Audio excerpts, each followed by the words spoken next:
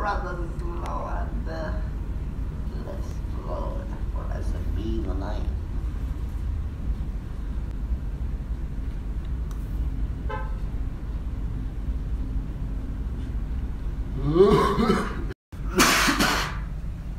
Hello there.